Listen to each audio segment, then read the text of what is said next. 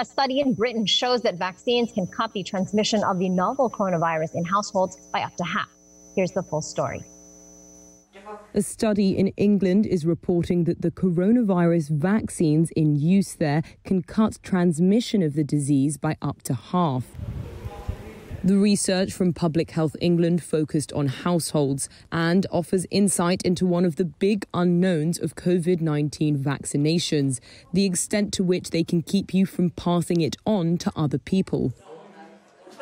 The study says people who became infected with the coronavirus three weeks after receiving one dose of Pfizer or AstraZeneca vaccine were between 38% to 49% less likely to pass it on to people in their home compared to those who were unvaccinated.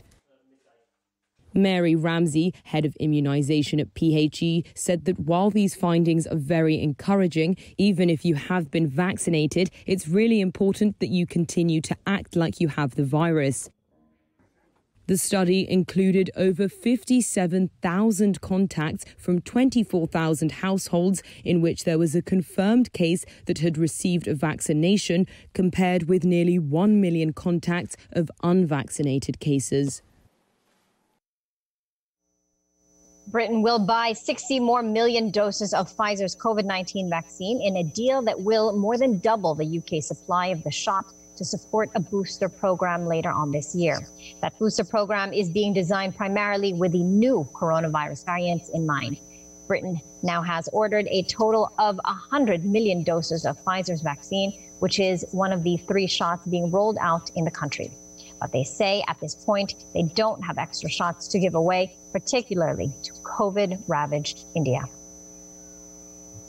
We don't have any excess doses of vaccine in the UK at the moment, but what we have done is by providing the Oxford AstraZeneca vaccine uh, at cost and working with the Serum Institute of India, they are making and producing more doses of vaccine than any other uh, single organisation.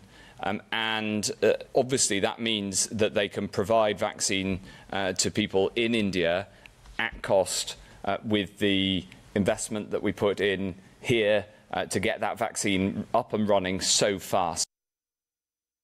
Mass cremations were again held in the country for those who died from COVID 19.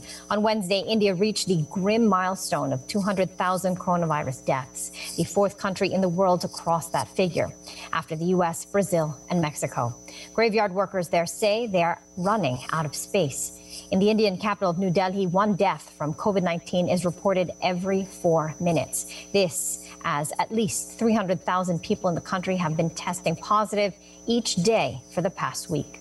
The last 24 hours brought 360,960 new cases, the world's largest single day total, taking India's total number of infections to nearly 18 million. Elsewhere in the world, over in Brazil, a vaccination center turns away residents who are due to receive a second dose of Sinovac's COVID 19 vaccine. That's after the government cut nearly 30% of the jabs expected to be delivered in the first quarter of this year. The latest calendar released by the health ministry shows only 73 million doses between January and April, down from the roughly 103 million doses reported last month. The government says the reduction was due to the lower than expected volume of active ingredients received. They also noted that some vaccines still lack a permit to be used in the country. This as Brazil is on the verge of registering 400,000 coronavirus deaths this week after over 3,000 new fatalities were reported Wednesday. The death toll in the South American nation is the second highest in the world after the United States.